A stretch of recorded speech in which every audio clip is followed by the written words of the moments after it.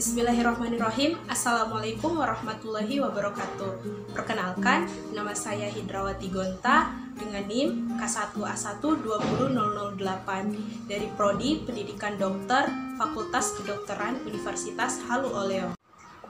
Indonesia merupakan negara kepulauan terbesar di dunia di mana sekitar 62% luas wilayah Indonesia adalah laut dan perairan. Maka dari itu, tak heran jika Indonesia memiliki kekayaan laut yang sangat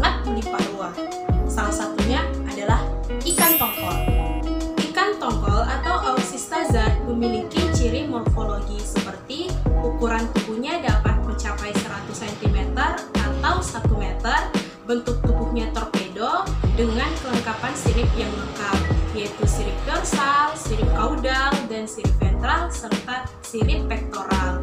Nah, di belakang sirip punggung dan sirip dubur ikan tongkol atau oxystazard itu terdapat sirip tambahan yang kecil-kecil yang disebut dengan finlet yaitu sebanyak 7 sampai dengan 8 pasang. Nah, banyaknya finlet pada punggung ikan tongkol ini menunjukkan bahwa ikan tongkol termasuk ikan perenang cepat dan juga warna tubuh pada bagian punggung ikan tongkol atau oxystazard adalah gelap kebiruan dan pada sisi badan dan perut berwarna putih keperakan. Penyebaran oxystazard itu sangat luas, meliputi perairan subtropis dan perairan tropik di lautan India. Penyebarannya juga itu ada di sepanjang negara-negara pantai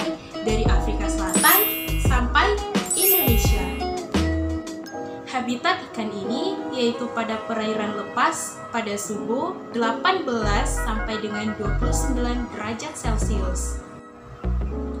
Untuk pola adaptasinya, Oxystazard merupakan ikan perenang cepat dan hidup bergerombol atau schooling, terutama pada saat keadaan aktif mencari makan.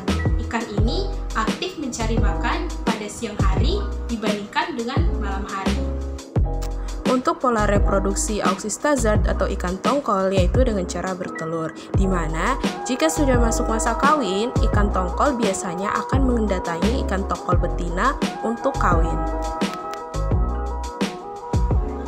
Ikan ini berpotensi cukup tinggi dalam bidang ekspor serta memiliki nilai ekonomis yang tinggi. Karena ikan tongkol ini memiliki kandungan yang cukup tinggi. Tiap 100 gram ikan ini mempunyai komposisi yang terdiri dari air, yaitu 69,4%, lemak 1,5%, protein 25%, dan karbohidrat 0,3%, sehingga menjadikan ikan laut ini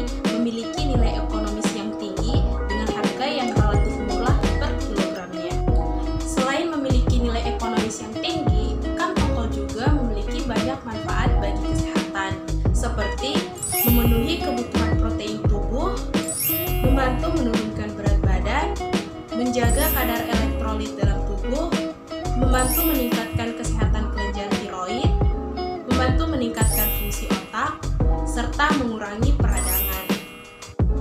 Baik, sekian video penjelasan dari saya mengenai ikan tongkol atau oxystazard. Lebih dan kurangnya mohon dimaafkan. Sekian, wassalamualaikum.